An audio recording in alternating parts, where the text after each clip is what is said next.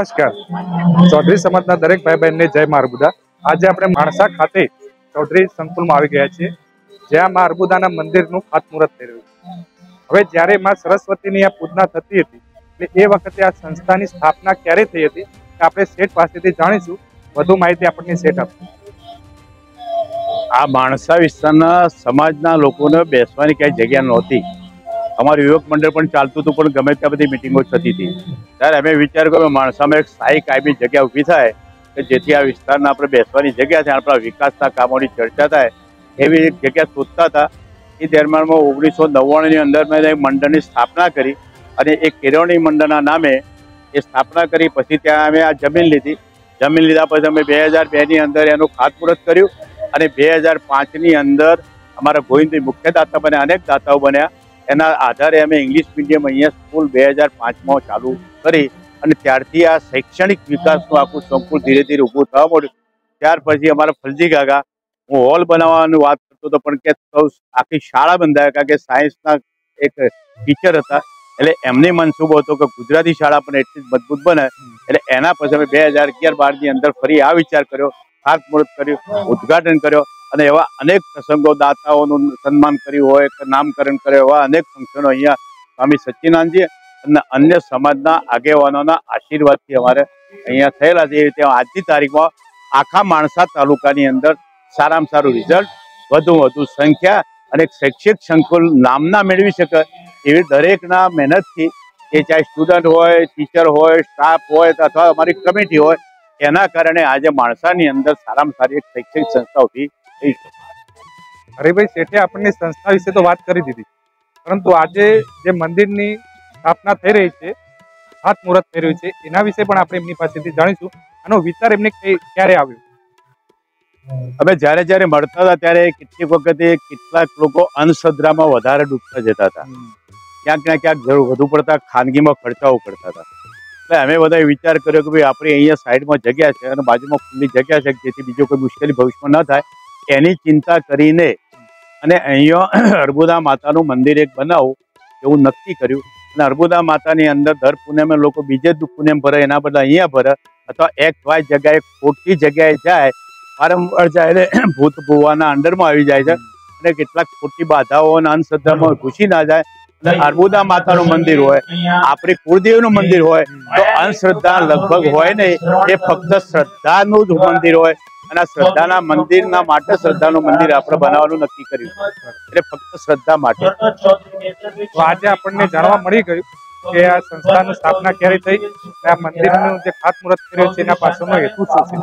હવે આગળના વીડિયો તમે જોઈ શકો છો.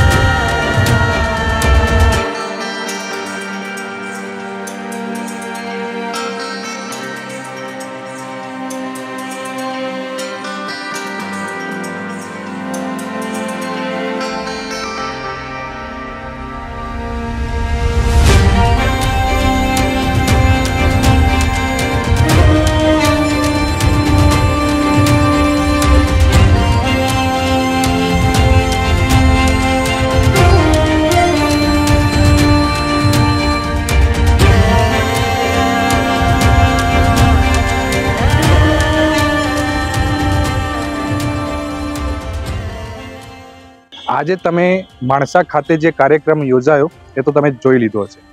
પરંતુ જ્યારથી અમે મારો ચૌધરી સમાજ યુટ્યુબ ચેનલની શરૂઆત કરી, ત્યારથી સમાજને જાણવાનો મોકો મળી રહ્યો છે. અને આજે જે મને હર્ષની લાગણી અનુભવી રહ્યો છું, એના વિશે તમને જણાવવા માંગુ અમે જેટલી પણ સંસ્થાઓમાં ગયા, તો આજના આગેવાનો અને પહેલાંના આગેવાનો બધા સાથે મળીને સમાજને શિક્ષણથી આગળ લાવવાનો પ્રયત્ન કરી રહ્યા છે. અહીંયા પણ જ્યારે પૂછવામાં આવ્યું, તો ઓગણીસો નવ્વાણુંમાંથી એની ચર્ચા થઈ હતી, બે હજાર પાંચની અંદર સ્થાપના થઈ. એટલે પહેલામાં સરસ્વતીની ઉપાસના કરવામાં આવે, જેથી સમાજની અંદર શિક્ષણનું પ્રમાણ વધે, તો સમાજ હંમેશા વિકાસ કરે છે. અને એ શિક્ષણથી જ્યારે શિક્ષણનું એક બીજ વાવવામાં આવ્યું હતું, એ આજે વટ વૃક્ષ બની ગયું છે. અને ત્યાં પછી ત્યાં ક્રેડિટ સોસાયટી પણ ખોલવામાં આવે છે. એટલે મા લક્ષ્મીની ઉપાસના પણ કરવામાં આવે છે. અને જ્યારે અત્યારે લોકો અંધશ્રદ્ધા તરફ વધારે જઈ રહ્યા છે, કે જ્યાં ભુવા, ભોપાળા ખોટી રીતે લોકોને, લોકોના ડરનો ઉપયોગ કરીને એમની પાસેથી પૈસા પડાવવાનું કોઈ પણ પ્રકારે જે થઈ રહ્યું છે, એમાંથી બહાર લાવવા માટે મા શક્તિ એટલે મા અર્બુદાની સ્થાપના પણ આ સંસ્થામાં થઈ છે. એટલે હંમેશા આનંદ થાય છે કે જ્યારે આપણા આગેવાનો આજના અને આગળના હંમેશા શિક્ષણને વધારે મહત્ત્વ આપતા હતા. એ જાણીને આનંદ થયો, એ વાત હું તમારી સમક્ષ રજૂ કરવા માગતો હતો. આવાને વધુમાં વધુ વીડિયો લઈને અમે આવતા રહીશું. ચેનલને સબસ્ક્રાઇબ કરવાનું ભૂલતા નહીં. જય મા અર્બુદા